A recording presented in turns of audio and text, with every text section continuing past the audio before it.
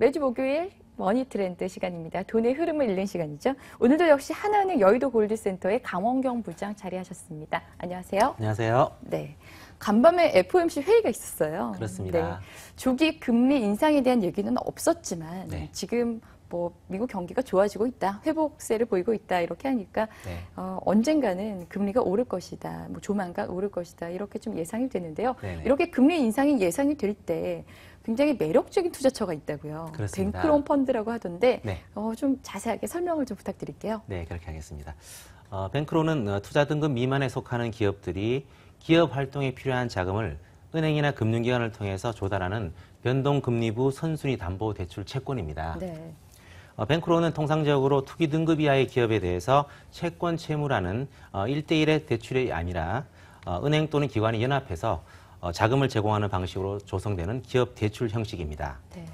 어, 상업은행 또는 투자은행이 설계 관리를 맡아 조성하는 것이 일반적인데요. 어, 이자 및 원금 상환에 있어서 여타 채무나 주식에 비해서 선순위이고 어, 담보를 조건으로 대출 계약이 이루어지기 때문에 변동금리를 적용하는 계약을 체결합니다. 어, 이렇게 조성된 뱅크로는 여러 단위로 쪼개져서 어, 다수의 매수자에게 매각되어진 후 회사채와 유사하게 유통시장을 통해 거래됩니다. 어, 채권처럼 유통시장이 형성되어 있고 그 등급을 부여받을 수 있다는 측면에서 기존의 론보다는 채권에 가깝습니다. 네. 이러한 유통시장을 통해서 뮤추얼 펀드, 은행, 보험 등의 투자자들이 위험을 분산시키면서 효율적으로 뱅크론 마켓에 투자하고 있는 현실입니다. 네. 네. 들어보니까 굉장히 좀 어려운데요. 네. 좀 쉽게 설명을 해보면 네. 기업 어, 은행이 은행이 기업들에게 네. 그 돈을 빌려주고 네. 그 자금을 투자자들에게 이제 모으는 거죠. 조달을 받는 네, 거죠. 조달을 그렇습니다. 받는. 네네. 그러면서 은행은 이제 중간에서 좀 수수료 같은 것들을 먹고 네, 중개하는 예, 역할이니까요. 중개 역할을 하는 그렇습니다. 그런 게 뱅크론이군요. 네네. 네. 이 뱅크론 그러면 가격 결정 기준은 뭐가 되는 건가요? 네, 어, 가격 결정 기준을 하는 것이 바로 어떤 금리, 어, 네. 투자자들의 수익률을 얘기하는 것이라고 볼 수가 있습니다. 어, 이 뱅크로는 일반적으로 투기 등급 이하의 기업 대출을 의미한다고 말씀드렸는데요. 어, 투자 등급 기업의 대출 조성은 수수료율이 낮아서 사업성이 떨어지기 때문에 자연스럽게 투기 등급 기업 대출 중심으로 시장 형성됩니다. 투기 등급 이하의 기업이 하이힐드 채권 발행보다는 bank loan 계약을 체결하는 이유가 기업 입장에서는 이자 비용을 줄일 수 있고 네. 어, 투자자 입장에서는 선순위 조건 담보 제공을 통해서 안전 장치를 마련 받는다는 것이 장점입니다. 네. high yield 채권보다는 좀 이자를 조금 줄일 수가 있는, 그러니까 자금 조달할 때 조금 그렇습니다. 비용을 덜 들일 수 있는 효과가 네네, 있네요. 그렇습니다. 어, 전형적으로 리보 금리, 3개월 리보 금리를 기준으로 하고 있는데요.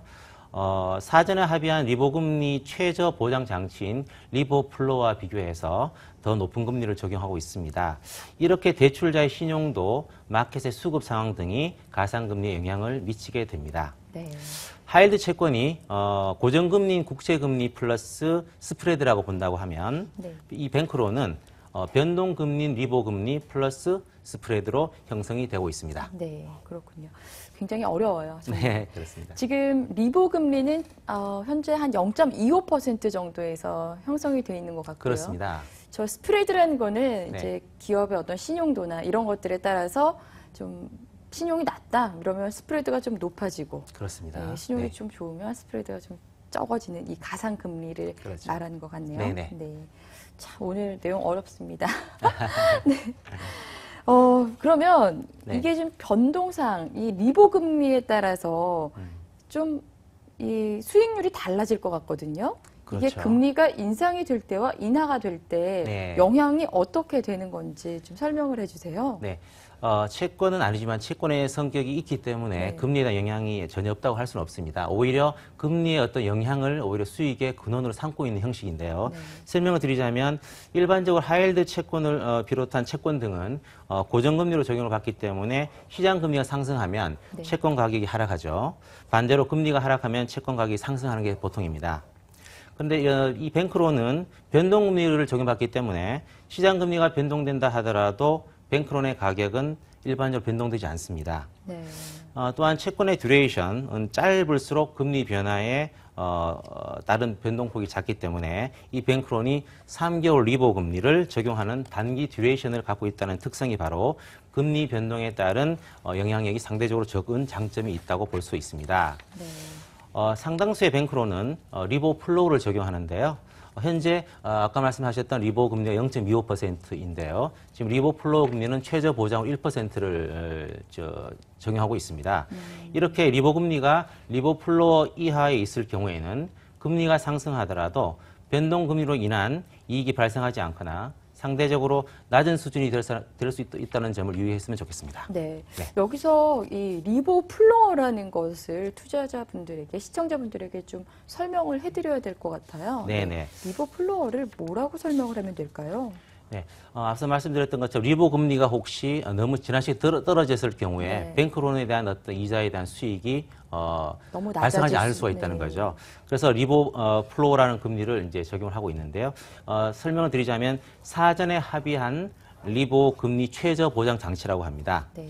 예를 들어서 리보 금리가 어, 리보 floor보다 낮으면 네. 어, 위에 있는 리보 floor 금리를 적용하고요. 네. 거꾸로 어, 리보 금리가 리보 floor보다 높다면 당연히 리보 금리를 적용하는 것입니다. 네. 네. 그렇군요. 네. 근데 여기서 참 뜬금없는데요. 네. 일단 리보를 먼저 설명을 또 좀 드려야 될 것 같아요. 네. 리보를 좀 간단하게 아주 간단하게 설명을 하면 London Interbank Offered Rate라 그러네요. 네, 그래서 그렇습니다. 런던 우량은행 런던 예전에는 뭐 뉴욕보다 런던이 더뭐 금융 도시였다 그러잖아요. 네. 그렇습니다. 네. 런던의 우량 은행들 간에 서로 돈을 빌려주는 그렇죠. 그 대출 금리를 얘기를 한다고 합니다. 네, 맞습니다. 네, 제가 너무 시청자분들의 수준을 좀 낮게 보고 제 수준에서 진행을 하고 있는 게 아닌가 싶기도 한데 그렇죠. 혹시나. 해서 네, 예, 네. 말씀드립니다. 네. 그 금리 변동에 대한 뭐 얘기 말씀해 주셨는데 네네. bank loan 그러면 아까 채권 high yield 채권과 좀 비슷한 네. 그런 느낌이 드는데 과연 그러면 차별점은 뭔지 좀 설명 부탁드릴게요. 네. 어, bank loan은 투기 등급 채권이라는 점에서는 어, 기존의 high yield 채권과 비슷합니다. 그렇지만 다음과 같은 차이점을 어, 말씀드릴 수가 있습니다. 어, 첫째, bank loan은 변동금리 이자 수익을 지급합니다. 어, 만기까지 고정금리를 지급하는 일반 채권과 달리 어, 뱅크로는 리보 금리에 가상금리를 더한 만큼의 이자를 지급하는 구조를 갖고 네. 있습니다. 어, 최근 리보 금리가 역사적으로 가장 낮은 수준인 0.25%를 보이고 있는데요. 어, 미국 경제가 회복세를 이어갈 경우에 리보 금리 상승을 통한 수익 추구 기회가 어, 있을 것으로 예상이 됩니다. 네, 그렇군요. 둘째, 뱅크로는 낮은 금리 민감도를 갖고 있습니다. 고정금리 채권은 일반적으로 금리가 상승하면 채권 가격은 하락하고 금리가 하락하면 채권 가격은 상승하는 역의관계를 보이는데요.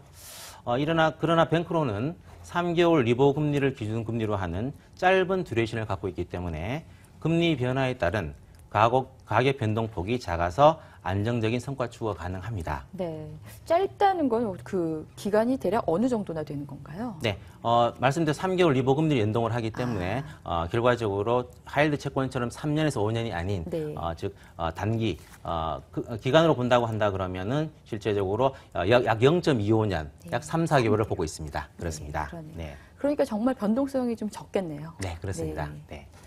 네. 어, 세 번째로 어, 말씀을 드린다면 선순위 담보 채권이기 때문에 하일드 대비 높은 안정성을 지니고 있습니다. 네. 일반적인 하일드 채권이 어, 기업의 자산에 대해서 담보 설정이 되어 있지 않는 반면에 뱅크로는 어, 채무 기업 자산을 담보로 설정하기 때문에 하일드 채권보다 안정성이 높고 선순위를 보장받기 때문에 부도시 회수율도 매우 높습니다. 네. 어, 참고로 어, 2014년 연말 기준으로 하일드 채권의 회수율이 37%였는데 뱅크로는 81%에 달했습니다. 아, 네. 뱅크로는 회수율이 80%가 넘네요. 그렇습니다. 근데 여기서 더 놀라운 거는 네.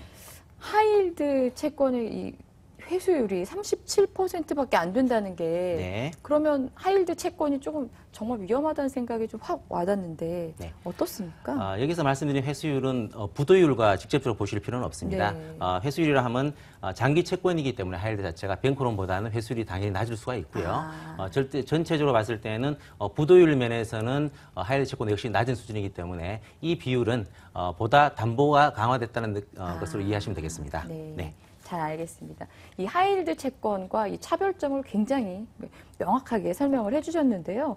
이 뱅크론이 그럼 기존의 지금 해외 투자에 네. 대한 네. 모든 것들을 좀 대체할 수 있는 건지 네. 지금 다 옮겨야 되는 건지 아니면 조금 나눠서 해야 되는 건지 투자 전략을 좀 알려주세요. 네, 그렇게 하겠습니다. 어, 말씀하시던 것처럼 꼭 그렇게 해외 투자, 즉 해외 채권으로 다 가 있는 자산들을 어, 뱅크로 다 옮겨온다 그러면 그건 너무 어, 리스크가 뭐, 예, 리스크. 커질 수가 네. 있겠죠 오히려. 이 뱅크로는 해외 채권의 대체 투자 수단인 것이지 어, 아, 대체 수단으로 보완적인 역할을 한다고 보시면 되겠습니다. 네.